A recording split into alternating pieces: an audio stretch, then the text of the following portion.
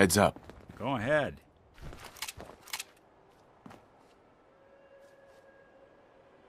Sure thing.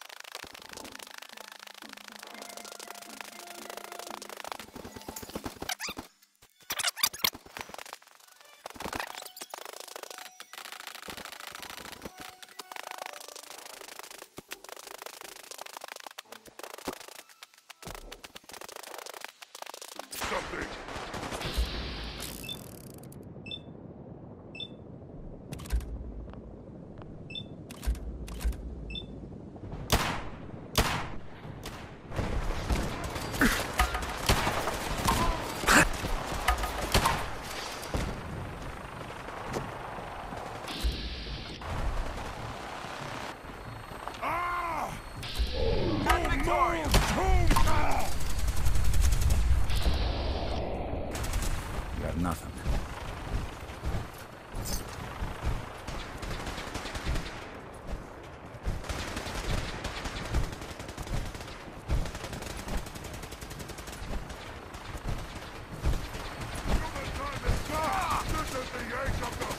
Look alive. Grab anything useful. Good plan. Check it out. See if there's anything there. Take anything good. Can Grab do. that.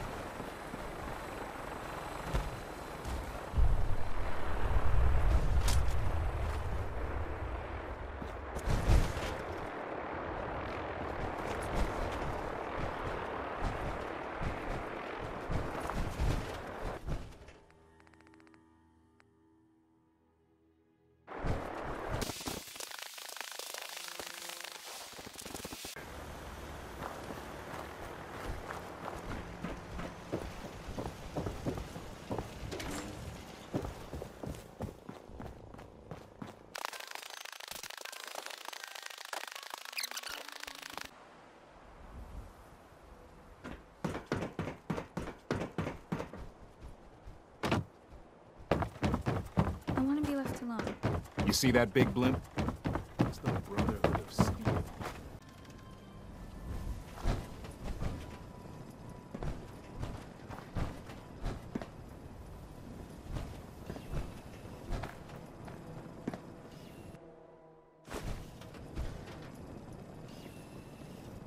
Not now. Another time then?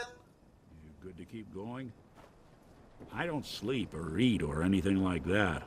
But if you need to, you do it.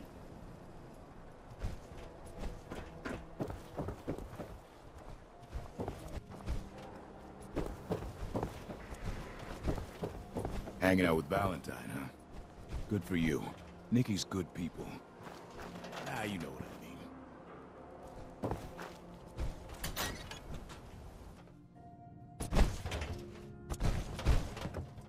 Well, well.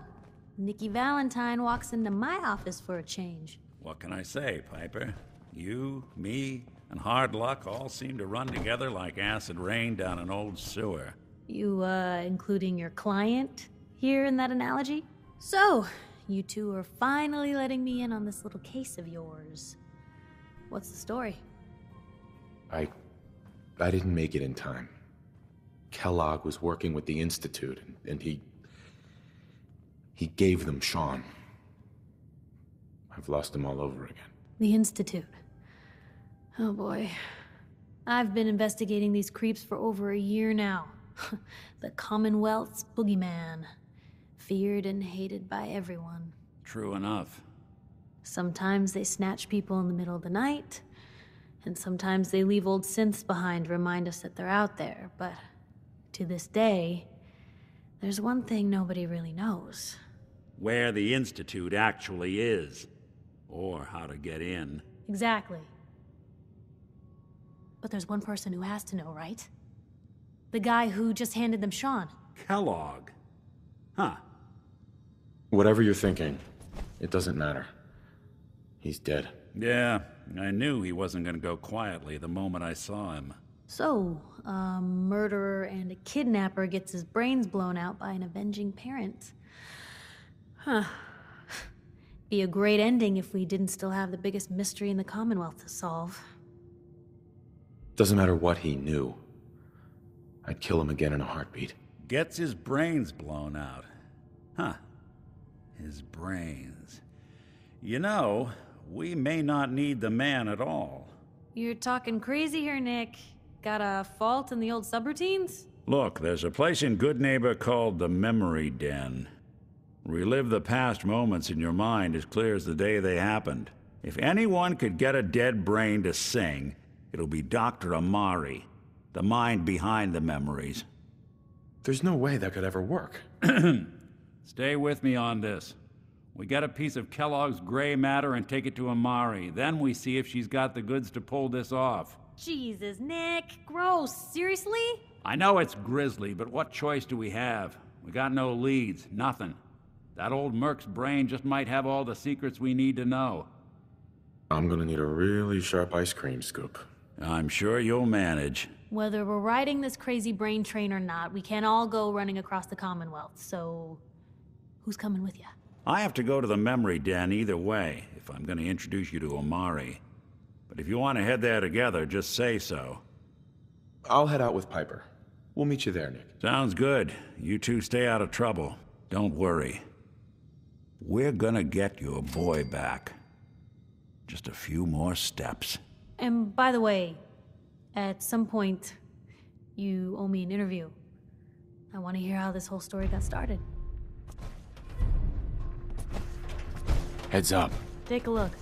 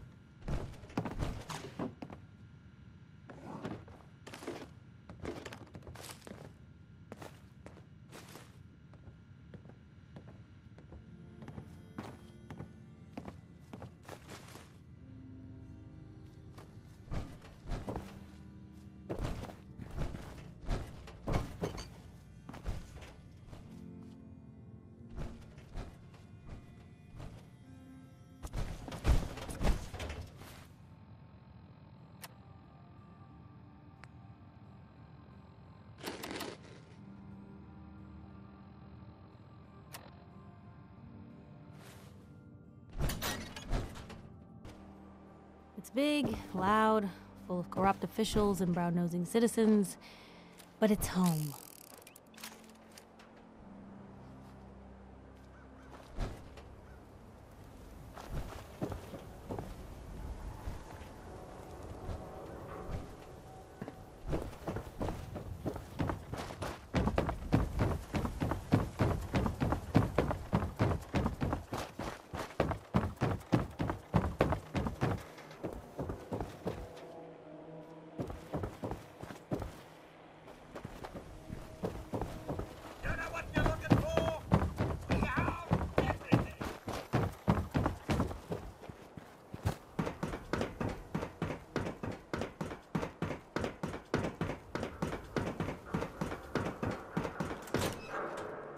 A few moments later,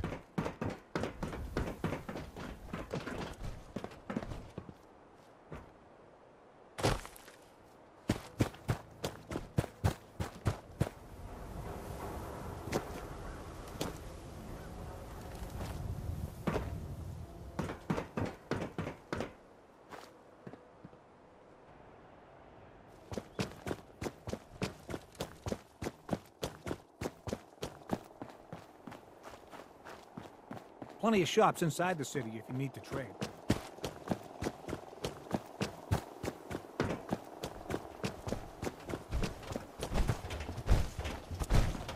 Hey, Valentine.